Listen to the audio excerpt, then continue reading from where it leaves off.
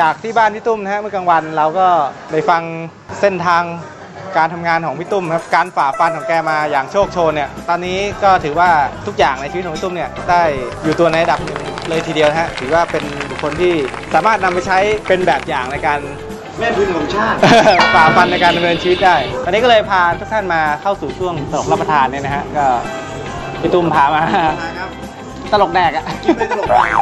แต่พี่ตุ้มก็พามาที่ร้านบางกอกปลาด้วยครับ ตอนนี้ก็เป็นร้านที่เป็นศูนย์รวมของพี่ๆน้องๆชาวศิลปากรก็ว่าได้แล้วว่าอยู่ใกล้มากก็คือซอยรามบุตรีนี่เองฮะเรียกได้ว่าเหมือนเอาคณะมาตั้งไว้ที่นี่ครับจากเอ่อการได้มีประสบการณ์ในการทำงานร่วมกับคุณสุวิทย์เนี่ยไม่ว่าจะเป็นเรื่องของธุรกิจสีเทาหรือว่างานออกแบบแล้วคุณตรงด่านทั้งหมดอะไรพวกเนี้ยต่างๆเนี่ ยคณะที่มีข้อได้เปรียบในการมาทำกิจการของตัวเองฮะอย่างมาตอกปลาอย่างเงี้ยถือว่าเราได้ประสบการณ์จากวิธีคิด วิธีคิดในการทำธุรกิจกลางคืน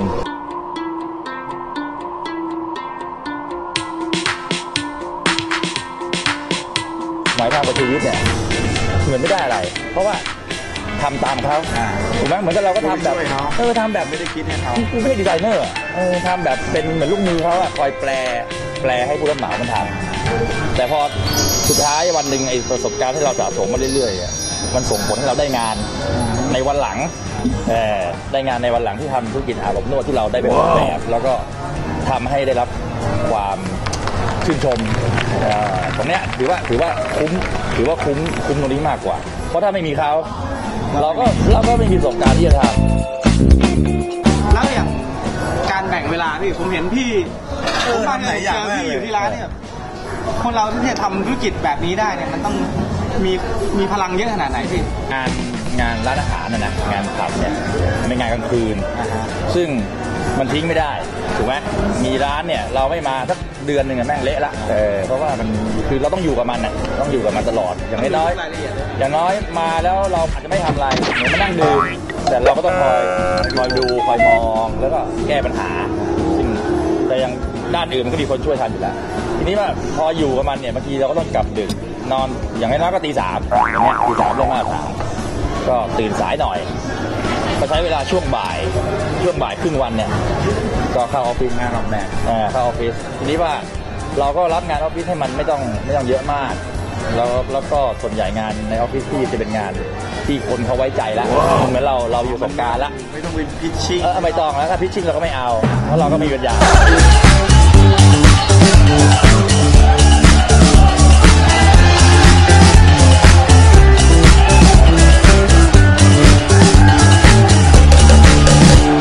มาดูแลกิจการเนี่ยทำให้พี่พบปะพี่น้องๆปะสังคมเนี่ยตรงนี้มันทำให้พี่มีพลังในการ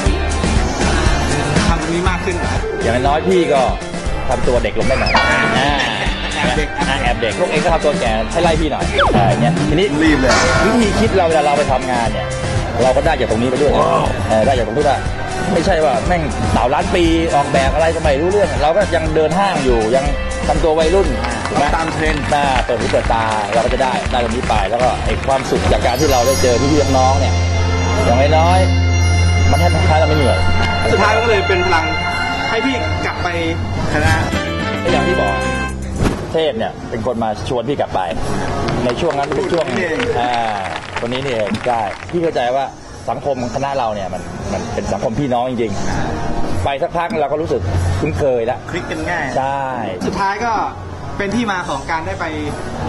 ดำรงตำแหน่งนายกสมาคมศิษย์เก่าถึงสองสมัยเลยอ่ามันมันก็เป็นเรื่องบังเอิญบังเอิญ ที่พี่เชเป็นพิธีกรนะครับใช่ การเป็นนายกสมาคมเนี่ยพี่มันต้องมีทั้งความเสียสละมีอะไรเงี้ยต่อคณะเป็นอย่างมากนะมีต้นแบบไหมพี่กับคณะเราก็คณะเราถ้าพิซซ่าที่พี่สัมผัสเยอะที่สุดก็พี่มาครับผมเพราะว่าเพราะว่าตั้งแต่เรียนจนถึงวันที่เราไม่ได้กลับไปเนี่ยวันครั้งสุดท้ายเนี่ยจะเจอพี่ม้าตลอดทุกทุกครั้งทุกงาน ทุกงานจริงๆ ไม่เคยขาดเลย แล้วหลังๆมาเจอแก แกบอกว่าถ้าแกจะขาคือแกไปต่างประเทศไว้ก่อนนะ ไปวิ่งวิ่งมาราธอน หรือเป็นเกามาไม่ไหวอ่าความดันขึ้นอะไรเงี้ยแต่ก็จะเจอแกบ่อย ทีนี้ว่า พอพี่ไปทำงานเนี่ย พี่ก็เจอแกตลอดทุกแมตช์ ไม่เคยขาดเลย ไม่เคยขาดเลยทำให้รู้สึกไหมพี่ว่าทำไมเรา คนที่รุ่นแก่กว่าเรามาได้ขนาดนี้ พอเห็นแกนะ ใจหนึ่งก็อยากจะทำตามแกนะคือต้องไปทุกครั้งทุกงานนะ แต่ว่าโอ้โหภาระก็ยังต้องมีพลังแกแม่งมหาศาลนะมันต้องอยู่ที่ความมุ่งมั่นจริงๆไงใจอยากจะทำอย่างนั้นจริงๆยังตั้งความหวังไว้ลึกๆตั้งแต่แล้วว่าเอออย่างน้อยๆเดี๋ยวนี้เวลาไปเนี่ยรุ่นแก่กว่าพี่อะก็จะน้อยลงแล้วจะมีเราไอ้แหละที่ว่าถือว่าค่อนข้างจะกลายเป็นพวกอาวุโสไปแล้ว ใช่ไหมก็ตั้งใจว่าเออถ้าทำแทนที่มาได้ก็อย่างนี้งานของสมาคมที่ทำมาสองสมัยเนี่ยพี่ยุคที่เป็นนายกเนี่ยสนุกที่สุดครับเปิดความความเป็นเด็กเลยรวมเอารุ่นน้องหรือว่าสิทธิ์เก่าสิทธิ์ปัจจุบันมารวมกันมากขึ้นนะฮะในในยุคของพี่ตุ้มเนี่ยตอนนี้ก็คือได้หมดเวลาแล้วตอนนี้เป็นของพี่กัดละแต่พี่ตุ้มเนี่ยก็จะเข้ามาดูแลงานงานใหญ่ของคณะให้พี่ตุ้มกล่าวถึงงาน 60 ปีเพอเอิญจังหวะดีว่าเอ่อ พี่หน่อย อะ พี่หน่อยเอ่อก็ได้มาเป็นเอ่ออธิการบดีอธิการบดีของมหาลัยก็เป็นเก่าคณะเราใช่ไหมอาจารย์ชัยสิทธิ์ก็เป็นคณะบดีใช่ไหมของคณะเรา เอ่อปุ๋ยปุ๋ยเอ่อเทียนประเทศก็เป็นนายกสมาคมศิษย์เก่าของศิลปากรแล้วก็ได้พี่เมธาบุญนาคเนี่ยรับอาสารับอับผังมาแล้วให้ใหม่ ซึ่งเราก็มองแล้วว่าเออตรงเนี้ยมันน่าจะเป็นตัวจุดประกายก็เลยคิดว่าที่ 60 ปีเนี่ยเราต้องกลับไปปรับปรุงคณะเว้ยเรื่องแรกอ่าแล้วก็อีกเรื่องหนึ่งที่ 60 ปีที่คิดว่าอยากจะทำก็คือที่มองว่าคณะเราเนี่ยมัน เก็บเนื้อเก็บตัวไปหน่อยทำตัวโลโปรไฟล์อะไรเงี้ยเออเพราะว่าถึงเวลาละถึงเวลาที่เราต้องออกอ่าออกสู่ภายนอกให้เขารู้ว่าเฮ้ยพวกเราแม่งทำงานอะไรกันบ้างเออมันต้องขี้โม้บ้างคุยหน่อยคุคุยยหน่คุอยยหน่อยคุยหน่อยเออไม่ใช่แม่ลายบูดหมดแล้ว เออไม่ใช่ว่าแหมกูศิลปินอยู่เงียบๆอ่าแล้วใช้วิธีวิธีทางไหนพี่อันหนึ่งก็คือพี่ทำหนังสือรวบรวมผลงานสุดเก่าในรอบ 60 ปี ใครมีผลงานอะไรน่าสนใจอ่าส่งมาเลยนะฮะ เราจะพิมพ์ระดับรับจำหน่ายเลยในอ่าฮะเอเชียบุ๊กเลยอ๋อคือวางขายวางขายด้วย วางขายด้วย แล้วคนที่มาในงาน60ปีเราก็จะแจกซึ่งสำคัญพี่ แล้วจัดหางบไงพี่คิดว่าเดือนกุมภาเนี่ย เราจะจัดงานเป็น gala dinner อ้าวเฮ้ยไม่ได้ไม่ได้โซก็ได้เออ gala dinner นะฮะจะมาซกมกจะมาแต่งเออป้องแป้งไม่ได้ไม่ได้ตีกลองป้องชึ่งอย่างเมื่อก่อนไม่ได้นะครับดาวไม่ได้ไม่ได้ครับ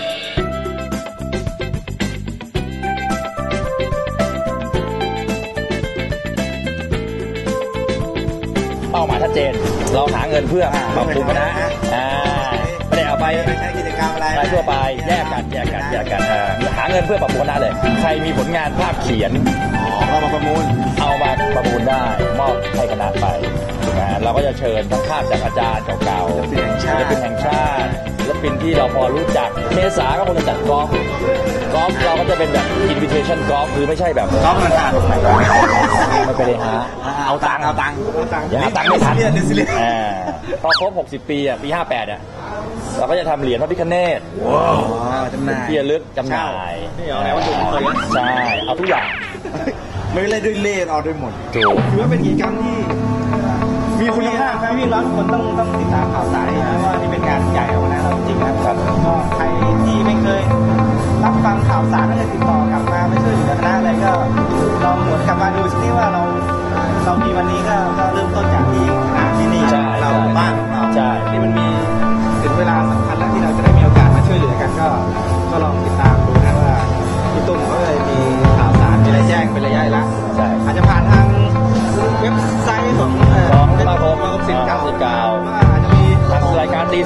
เก่านี่นะก็คงต้องแจ้งเป็นระยะระยะไปรายนะการจะมีทางหนังสือหรือว่าเป็นอีเมลส่งไปหาแต่ละท่านเลยนะครับ ก็ก็ก็ช่วยช่วยกันนะครับถือว่าเป็นงานที่ดีมากเลยวันนี้ก็เป็นอีกหนึ่งกิจกรรมที่พี่ตุ้มจับมาทำเพื่อคณะเลยใช่ตั้งใจเลยตั้งใจตั้งใจจริงๆเพราะว่ามันถ้ามันพลาดโอกาสนี้แล้วมันก็ไม่มีแล้วล่ะดีแล้วพี่ เออทุกอย่างมันมันลงตัวถูกถูกเนี่ยมันต้องทำให้ได้ โอเคงั้นก็ เดี๋ยวก่อนที่ คืนนี้เห็นบอกมีจะพาไปดูผลงานการออกแบบผลงานล่าสุด บางส่วนด้วยเพราะว่าเดี๋ยวจะคิดแต่ว่าพี่ เออถ้ากินเหล้าไปเที่ยวกินเหล้ามีผับ มีบาร์และงานออกแบบที่ไหนล่ะเงินไหนเอล่ะอแล้วทำไมเขาถึงเรียกเราว่าเก่งเออตอนนี้ยังไม่รู้นะว่า ใครเริ่มต้นเจ๋งที่ไหนอะไรได้เดี๋ยวจะเฉลยให้ฟังทุกวันนี้คนคนเรียกเจ๋งจนเป็น